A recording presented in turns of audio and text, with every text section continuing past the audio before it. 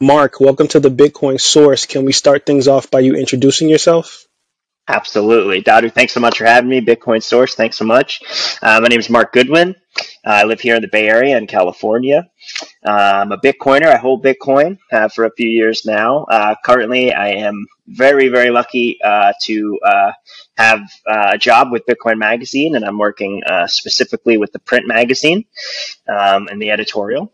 Uh, so yeah, I'm super happy to be here to uh, talk to a, a, fellow editor and uh, you know great writer and uh, friend and yeah, man, that's that's more or less yeah. Bay Area, California, been in Bitcoin for uh, since like 2017, and yeah, been writing in the space and educating for you know two years or so and, and one year full time professionally. Yeah, and Mark, you know I'm always excited when I have fellow writers in the space come on the show. It's always exciting for me because as a writer, it's like rare to sometimes get um, people's thought processes on Bitcoin when they're not writers. So I'm super yeah, excited. Man. Awesome. Yeah, I mean, we got to stick together. You know, we got to. There's there's a lot of education, a lot of community, a lot of things that uh, you know. I think words are exceptionally powerful, and we all have platforms or have built platforms or are building platforms, and uh, you know, whenever we can use that to uh, you know spread spread our logos around the world and uh, help people. You know, it's uh, so yeah, no, it is really exciting always to, to talk to another and uh, you know see what cool things uh, you know fellow writers are doing in the space. So.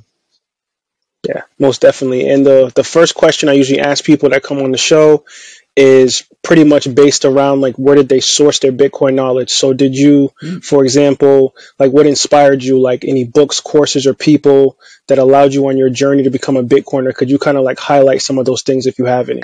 Yeah, totally. Um, well, ironically enough, I mean, I was just maybe not ironically, but just funny enough, uh, just being in the Bay, just kind of the proximity to stuff. Um, to, to where a lot of Bitcoin things were happening. Uh, I've, I've lived in, uh, in, in San Francisco since 2012, and um, you know my first introduction to it was you know in like 2014, and it was just people like talking about it like at the bar that I was working at, and then that became more and more and more of a thing as Bitcoin got bigger and bigger, and I just kept running into it. I'd see shirts, I'd see hats, I'd start to see meetups, um, and then I was an events bartender. Uh, and I actually just started working all of these parties and these these like company holiday parties and stuff for all the you know I, w- I would say extended cryptocurrency space if you will. Um, you know a lot of bitcoin stuff as well of course but um, you know there's a lot of companies out here and exchanges and stuff. So I, I sort of just proximity was kind of my first exposure to it. And then in terms of actually like you know you know education and, and what kind of got me on the path of, of, of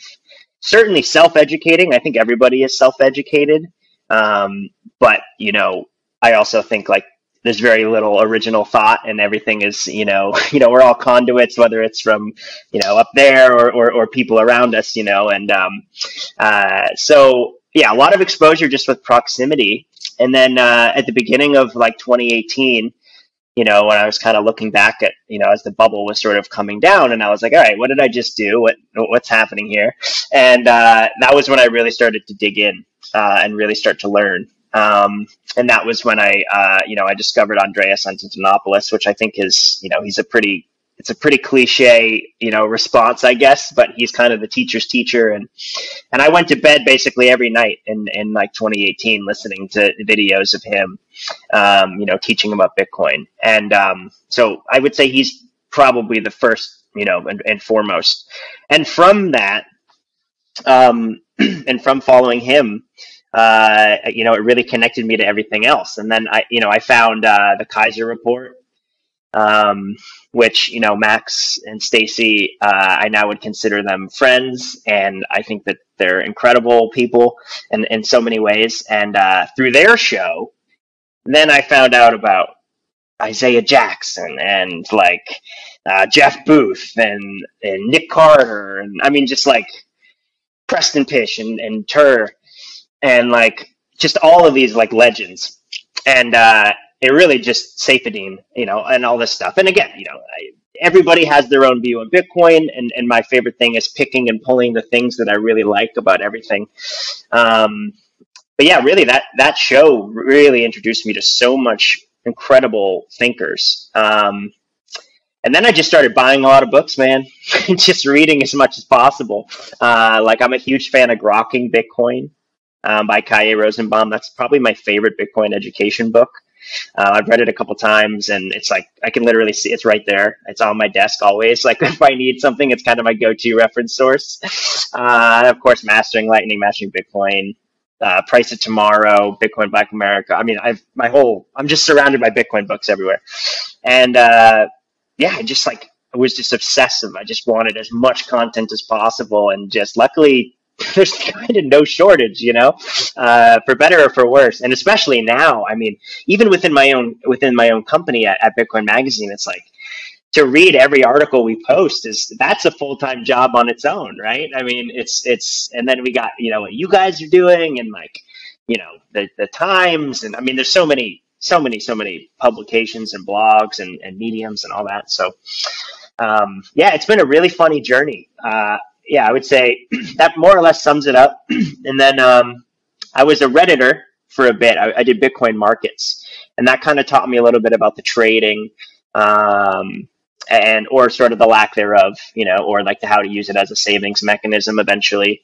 And uh, yeah, I was just really lucky, like to have a lot of, you know, I found a lot of signal pretty early on and was able to kind of like avoid, you know, the altcoin casino more or less, you know, um, and was really able to kind of just focus on Bitcoin. And then, uh, yeah, I, I, ended up making a Twitter account about two years ago, and uh, kind of the rest rest is history. There, it's like it just sort of you know free market of ideas, and um, it's just kind of whittled, whittled my uh, you know thesis down and down and down, and then uh, decided to kind of start writing and submitted something to Bitcoin Magazine, and and then uh, now I get to go talk to uh, you know friends like you and that are doing similar stuff. So it's it's been a wild journey, uh, so fun. Um, but yeah, no, I, I not even close to done learning, man. Not even close. I know that was a long answer, but I hope that helps. Because when I really started getting into Bitcoin Magazine and learning about trying to be a writer for the publication, like you were one of the people, Fetsky,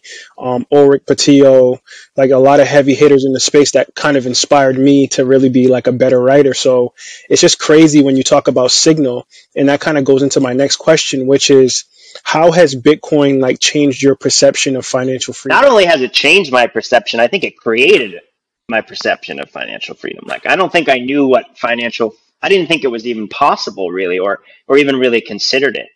And um, I, I, think I'm really lucky uh, in, in, in terms of like a nature nurture thing where uh, uh, both my, my folks are uh, CPAs. And uh, so when I was really young and they adopted me, when I was really young, they, they like taught me like, you know, here's how to balance a checkbook. Here's how to you know. So i learned what compounding interest was what you know compounding annual growth rate was you know when i was like a child you know because my parents are you know accountant nerds. And uh, so having that background i think um, of like financial literacy uh, I think when I got to the city and I, I came out to, to the Bay, I, you know, I was having some trouble, honestly, kind of making my way. I mean, I moved to one of the most expensive cities in the world. Um, you know, I was living in this like not residential warehouse space. I was like managing a market and working so much and barely able to pay bills.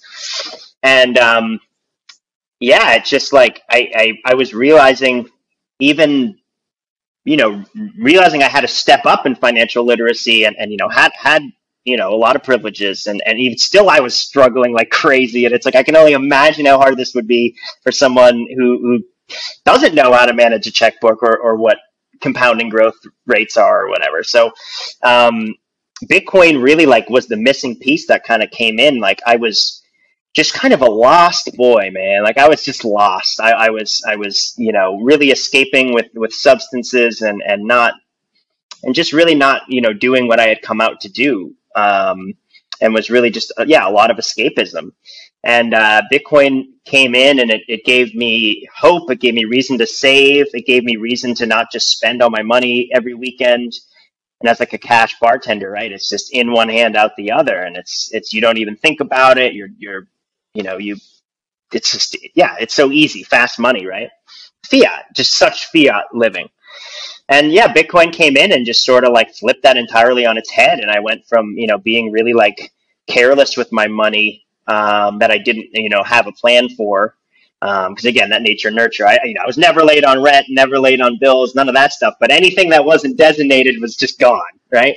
And so Bitcoin came in and, and, and plugged up that hole and was like, oh, now I have a sinkhole to, you know, to save. And then, uh, and then eventually over time, that that became like you know, I started to look at Bitcoin as a means to an end a little bit more than just this like only option, never sell it, never blah, blah, blah. And again, certainly don't recommend frivolously selling Bitcoin or whatever, but like I love paying my friends for, for things, you know, I, I do a lot of art production and music and love being able to pay my friends in Bitcoin. Um, you know, that's the whole point. It's, it's a means to an end. And so, yeah, Bitcoin really came in and just obliterated any conception I had of never being able to, to you know, to to be able to own a to own anything or or to really dig a you know dig out a, a trench for myself. And so Bitcoin really was this tool that, yeah, I mean, it, it completely changed my perceptions of what financial freedom was. Um, and and then once I felt that, I, I knew that I had to dedicate my life to making sure other people could feel that same thing that I did, you know? And don't get me wrong, it's not it's not like every day I wake up and I'm just like everything's perfect and I have no worries at all and there's no way Bitcoin's going to go down. It's like, no, of course not. I mean, there's still concerns within that bubble, but like can you imagine not having Bitcoin right now? Like dealing with this world and the insanity and it's just it's such a it's there's so much going on and it's such a tough time and and so much of it is downstream from financial uh, you know hardship. And so to, to actually be able to you know have maybe a, a even if it's just a little bit of a leg up but having that um, it's just I, yeah i can't thank satoshi enough. Yeah, most definitely. And you know like as millennials it's just harder because the way that we approach saving, the way that we approach uh, retirement is completely different from every other generation. And I love how you talk about signal and you talk about really having a purpose behind Bitcoin when you start to talk about savings because I feel the same exact way. It's like before this, like, yes, you have your 401ks, you have your little retirement plan set up via your job, but it just never really connected with, with me personally. Like, you mean to tell me I can't touch this till I'm 60 something years old? you know, you really don't understand the fundamentals of it. And it's like when you see Bitcoin, it's like, wow, I can I can be in control of this right now. I don't have to wait until I'm an old man to understand the value of you know my sweat equity and the things that I put into it. And like you said, you know, when you're giving people or incentivizing people for their work, for their proof of work through whatever it may be, music, you know, anything, you can just say, hey, like, here's some Satoshis for, it, you know, what I think is a creative tool for you. And I think that, you know, Mark, what you're doing in the space is huge because once again, like I always have to harp on this, writers are kind of like the unsung heroes of, of this ecosystem because I know for me, like, if I want to retain some information, I really try to look towards literature because it allows you to decipher and make your own decisions versus like if you're listening to a podcast or a YouTube video or even someone in front of you, you really don't get the full context of it until you sit down by yourself in a quiet room and really listen and read on Bitcoin so you can have your own understanding of what the protocol is. I totally agree. 100%. I, I, I'm, it's like ironic because I am, you know, I'm a musician and, and that's so much of what I think about. It's not Bitcoin, it's music but but I am I'm a visual learner you know like I I'm I'm really I I don't process things as well um you know in, in podcast form or or in in a video form. And I love podcasts and I love videos and I actually like it more and more every day and it's easier for me to connect. I'm getting better at that skill. It's all skills right? I get a lot better at processing as it goes on and as I do more and more.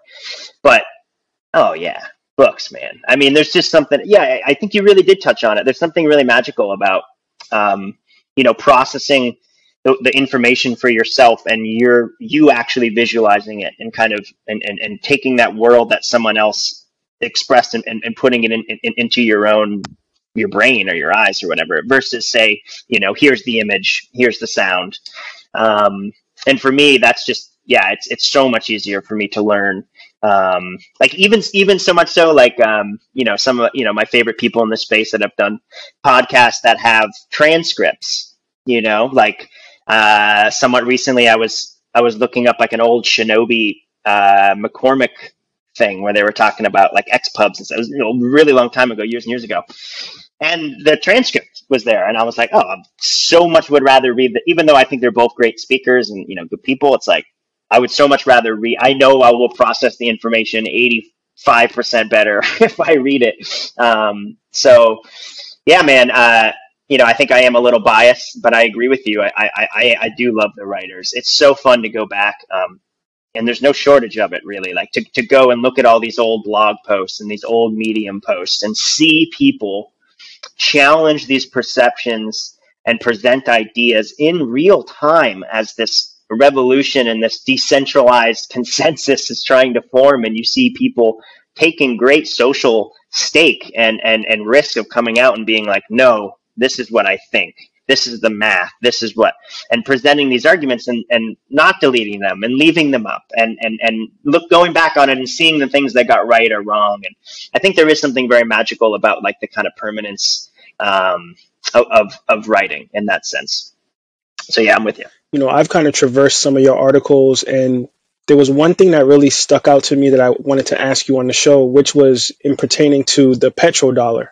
So you know, fundamentally, you know, Bitcoin creates this free market. You know, a lot of the Bitcoiners talk about the free market.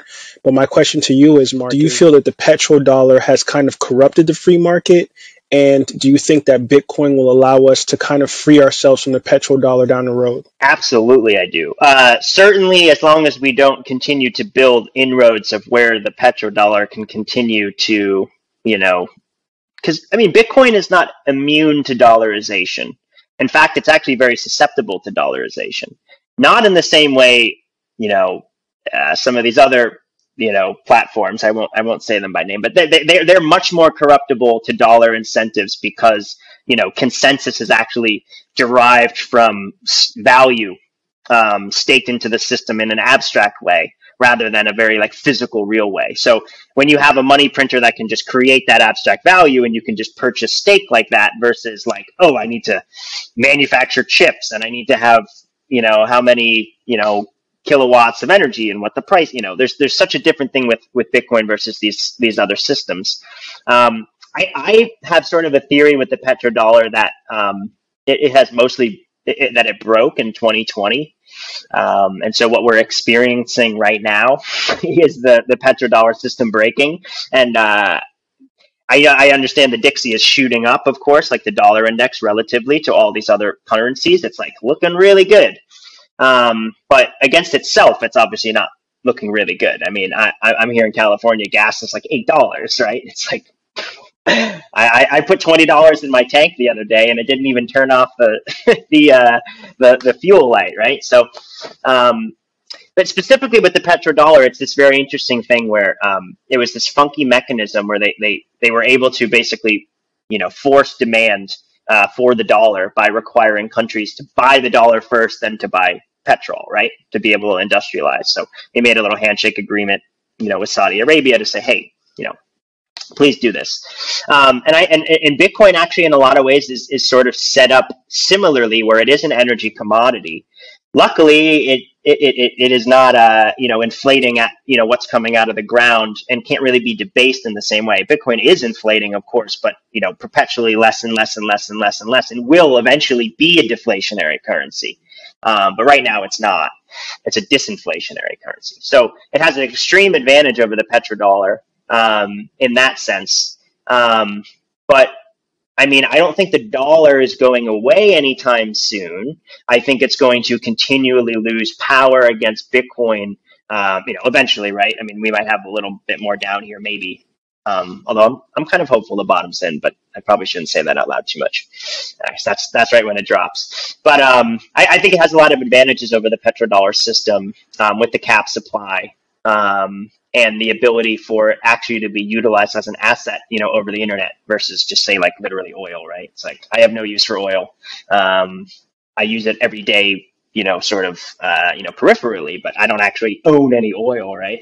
Um, whereas Bitcoin it actually does make sense for me to own. So I think the dollar will be around for a bit. Um, and I think it will appreciate against other currencies, but against Bitcoin, it will it will always continue to go down, um, zoomed out far enough. Um, I hope that answers that. I, I, know. It, I mean, I could talk about the petrodollar all day, so I, I, don't want this to be like a three and a half hour podcast on you. But um, yeah, no, I think about the dollar system a lot, stable coins a lot.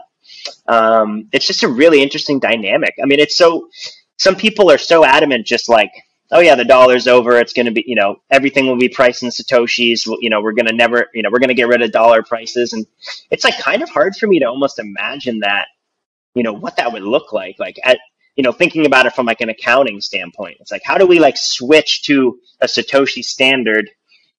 It's that can't happen overnight. I mean, it's just it's going to happen in this in this way. And I my guess, and this is kind of what I said in that Bitcoin dollar article, and then I'll stop. But was that my my theory was uh, everything would appreciate into the dollar, and then the dollar will depreciate into Bitcoin. So I think we've seen the dollar do its thing. You know, basically since that article, uh, the dollar's done nothing but go up. We're at like 30 year highs. It's like, and I think we're sort of at a top ish of, of the dollar. And now I think we will begin to see the dollar milkshake kind of turn into this Bitcoin dollar milkshake mess.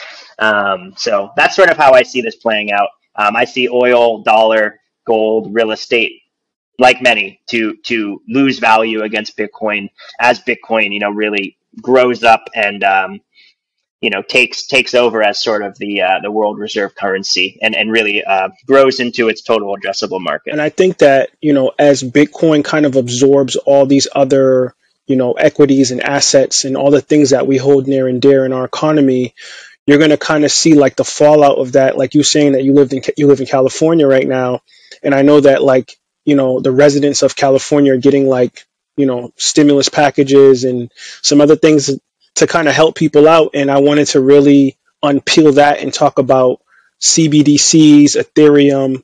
But to really get into what I want to ask you is like a lot of people are noticing, and I think they're being trained psychologically to kind of like accept CBDCs through UBI or through stimulus packages. So could you kind of explain to the audience, you know, why CBDCs aren't that good and also why it's a better option to have Bitcoin than like something like Ethereum, for example. Yeah, totally. I mean, I think it gets back to that sort of that, you know, the consensus, you know, where's this monetary policy, uh, you know, downstream of like where, where what is what is upholding this monetary policy and there's so many things about bitcoin that are so incredible and, and so groundbreaking but like arguably it's kind of the most boring thing about bitcoin but it's it's supply issuance and it's it's every 210,000 blocks cutting in half. You know, there's there's you know that there's a John Nash quote where he's talking about you know ideal inflation, and he's like, well, surely if if n you know as like a as a variable is the ideal inflation rate, then surely n divided by two is a more ideal, right?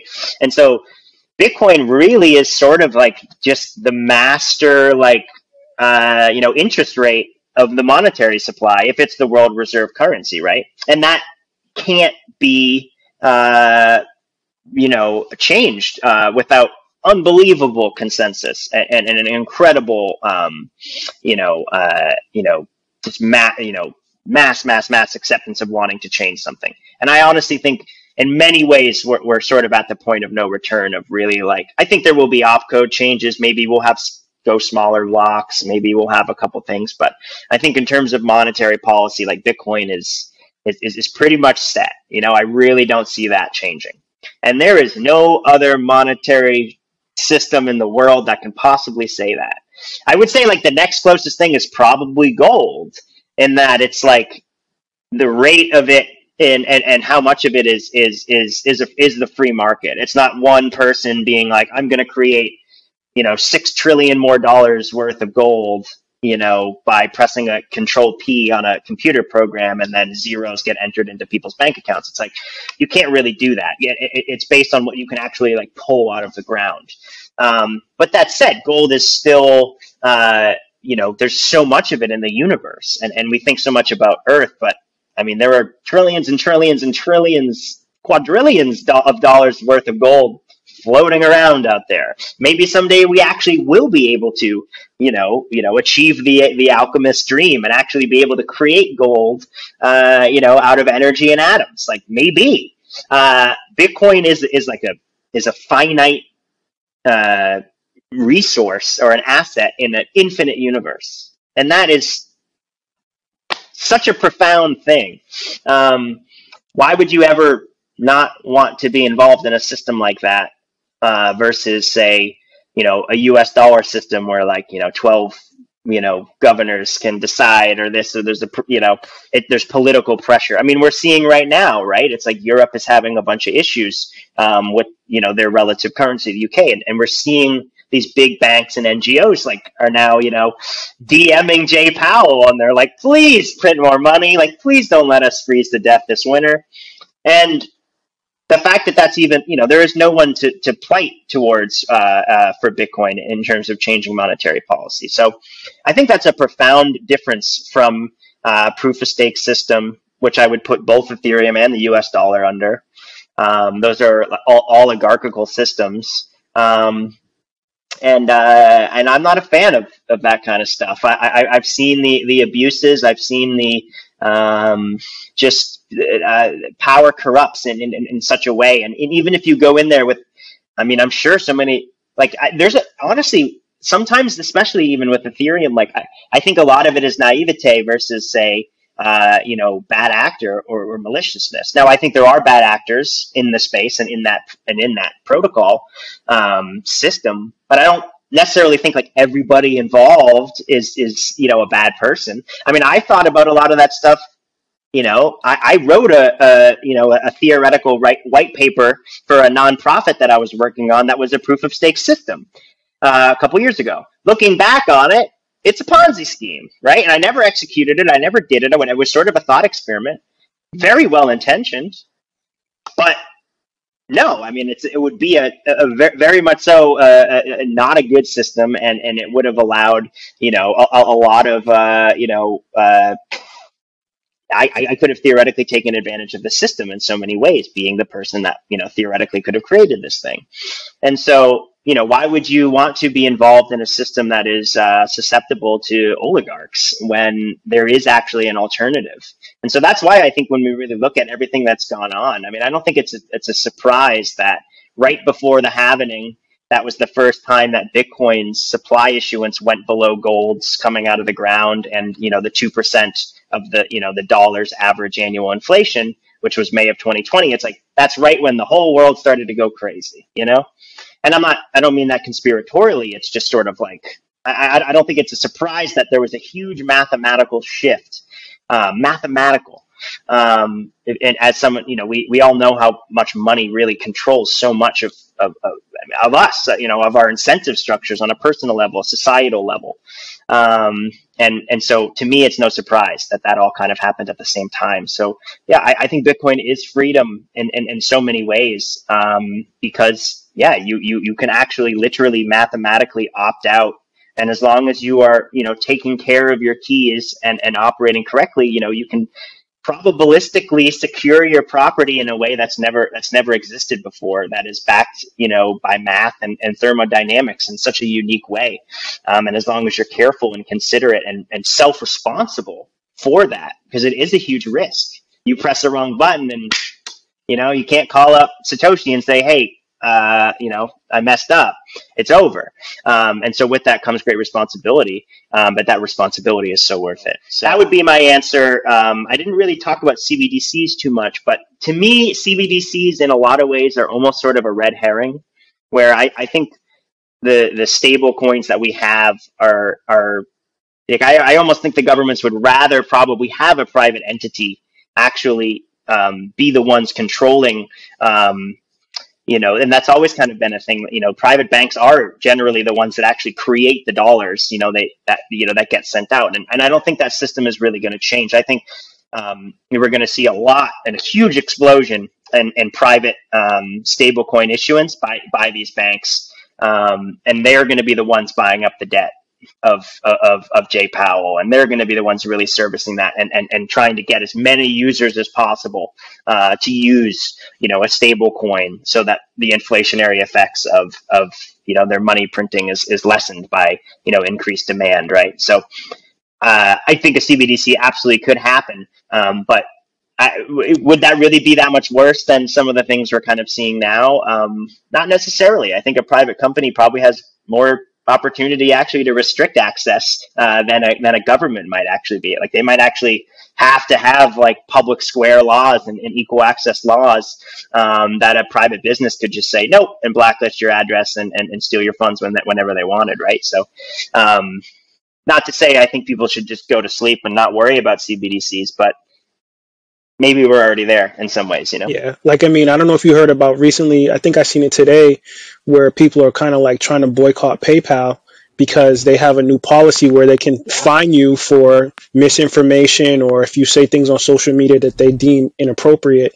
So it's like we're going to see a lot of these type of things happening as time goes on and as Bitcoin becomes more ubiquitous in the system. It's like it's just going to be like a fork in the road. Like you can either go left and go with the CBDCs and the control and the centralization, or you can go right and you can go into decentralization, Bitcoin, and freedom. So funny! It's so funny that you said literally a fork in the road because. Uh, there's uh, Jimmy Song, a great great Bitcoin writer and and uh, uh, you know personality. Uh, he he's uh, he writes for our magazine, and he's been doing this like kind of like final page kind of last word uh, for the last couple. So he has one in the magazine that's about to come out. That's literally called a fork in the road, and it's like, which way? You know, where are we going? Uh, do you want to go towards that? Almost literally verbatim what you just said. So, yeah, you're you're absolutely onto it, Dadu. Like for sure. Um, absolutely. And and just I think you know really like the fundamental thing is that there is a new option. There is a new way. There is a completely neutral new energy asset that didn't exist 13 years ago. Um, that is just fundamentally changing things and um, just just that just merely being there. Um, you know, and, and people, it's so funny. People like knock on Bitcoin all the time. Like they talk about, oh, it was only going up because it was in a bull market. It was, it's just there because it's a valve for excess liquidity. It's like, yeah, it is. That's exactly what it is. Do you know how much excess liquidity is in the system and is about to be in the system? A lot. And it's like just an escape valve for excess liquidity is is a profound profound technological advancement. Um, you know, it used to go into gold or silver or or, or some other or, or, real estate, and now it can go into this like stable, less manipulative. Um, uh, you know, monetary policy. So to me, yeah, you know, fork in the road. Which way? Which way, Western man? You know, I'm I'm taking the Bitcoin path, and so far so good. Hundred percent. I'm taking the Bitcoin path as well. So, uh, Mark, you know this this Bitcoin conversation has been great, super insightful. I really enjoyed it. Could you kind of give the audience um, your social media handles and any other future endeavors that you might be partaking in down the road? Yeah, absolutely. Um, so I'm on Twitter uh, at Mark Good Good W underscore in. So Mark Goodwin is my name put a little dash between the W and the IN. Uh, you can also find my website. It's the same thing, except instead of an underscore, it's just a, uh, a dot. So markgoodw.in. Uh, that's my little website. There's just a, couple couple projects that I do there. Uh, I, I, work on the editorial for uh, Bitcoin Magazine's print magazine, um, which I feel incredibly lucky to do, and uh, it's an absolute honor. Um, and uh, so please subscribe, take a look. We got a, a pretty wild one about to come out. The, uh, it's called the Orange Party issue. Um, it's political focused. Um, and I think we did a really good job at, you know, making sure we really looked at you know, there's so many different opinions and, and, and, ways to look at everything. So I think we did a really good balanced editorial. I, I really hope people read it front to back. And um, so definitely subscribe. Um, you know, occasionally trickle things out on the online now that I'm a little bit more set in my process and, you know, about to kind of come out of kind of my first year being at Bitcoin Magazine full time. Um, I'm going to definitely start cranking out some more stuff for .com. That's definitely a big plan of mine because I, I kind of miss miss the writing. Actually, today I, I, got a, uh, an outline to work on. So more writing coming out for sure. Uh, follow us at Bitcoin Magazine at the BTC Mag is the print mag.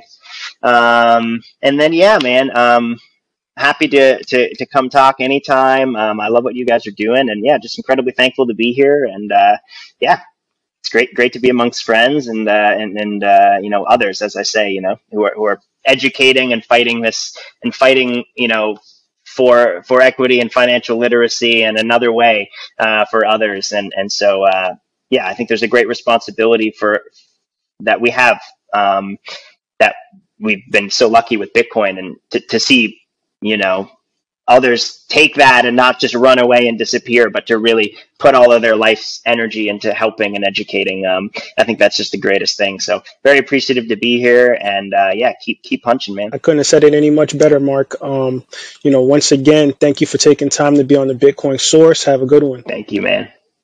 Bye.